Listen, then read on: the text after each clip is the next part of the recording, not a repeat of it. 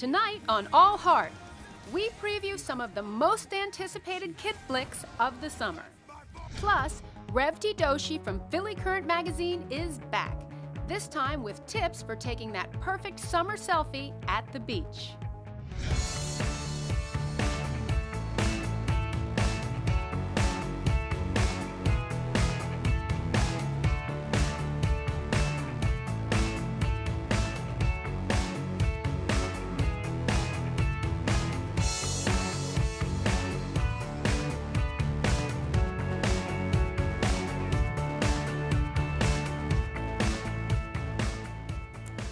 Hi, and welcome to All Hart. I'm your host, Lauren Hart, and I'm so happy to have you here tonight because we've got a lot of great things going on.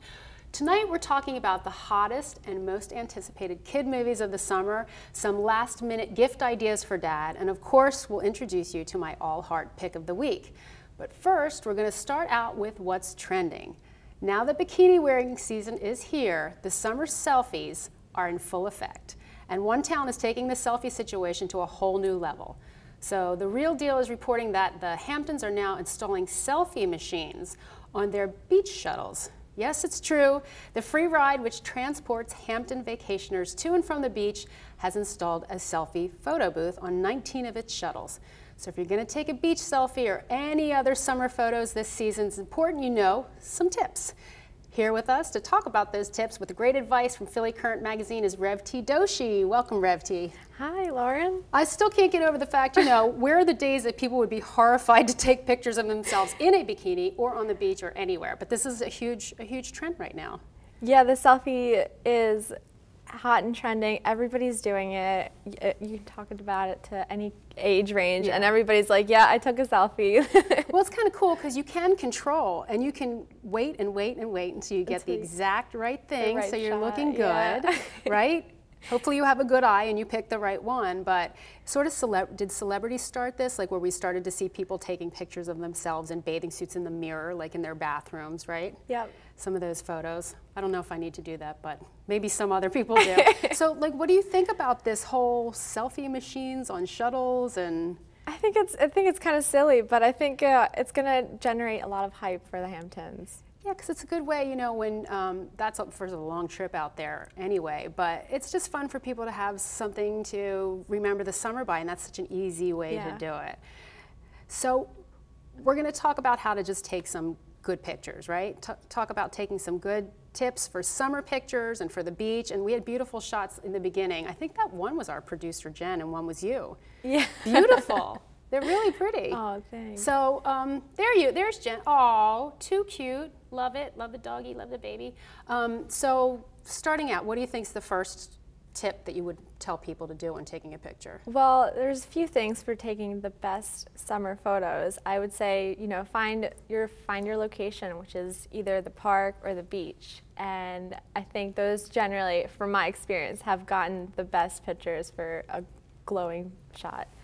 And then, then number two would be make sure your outfits are coordinated. Because if you're if you're taking summer family photos and mm -hmm. such, you don't want a graphic T-shirt to you know take away from the subjects. Yeah, and always when you see beach photos and families, they're, they're usually in like the white shirt and the blue jeans or the mm -hmm. look, and it mm-hmm. kind of used to look like silly at first, but then you know the trend kept getting bigger and bigger, and now it's just pretty much the standard. Yeah. People on the beach in matching outfits. That's it. So, um, and no graphic T-shirts, no, no, no craziness going on, just kind of uniform. Yeah. Okay. What else? And the third one would be um, timing, which is, I would say, the best time to take these pictures would be during the golden hours. The and golden hours. The golden hours are basically a few hours before the sunset. So I would say 3:30 to 6 you know, anytime between then, I think you'd get a really nice picture. Because lighting is key. It is. You know, key. no matter what you're wearing, I mm -hmm. think mm-hmm. the lighting will really help embrace any kind of picture. And you had a really cool sort of extra tip about lighting, you know, about different ways to light things, and you were talking about backlighting. Uh, it's a, little thing I picked up by, I think it's, I think it'll be fun for everyone else to try too. It's generally you the sun is behind the model, or you know, if the I'm the photographer, right. yeah, the subject, and um, you stand in front of the subject, and angle yourself a little lower and then snap away and you'll see you're basically looking for like a halo type of glow around like an outline rim on the person. So is this some is, is this you taking a picture a selfie yourself or is this someone taking a picture of you? Doesn't really matter. Like do you need to be further away or like when you snap the photo? When you're taking the selfie like that, Yeah. I, I think I would say you'd angle a little lower and um, that's because generally we, we, I said to start in the Right. top, but this one you, t- you angle a little lower. You've got the sun behind you, directly behind your head, and you'll see the glow of the outline of your hair or head, whatever. Well, and, and did you take that selfie of yourself? Yes, Obviously, the I selfie did. of yourself. This is genius. Rev T, I'm, I'm always happy to have you here. It's you always bring fun ideas and great ideas for taking pictures. So please come back and visit us again. Of course I Thanks, will. thanks, Rev T. Stay tuned when we come back. If you still haven't gotten a Dad Day gift, shame on you. But stick around because we got some great ideas. We have craft beers just in time for Father's Day.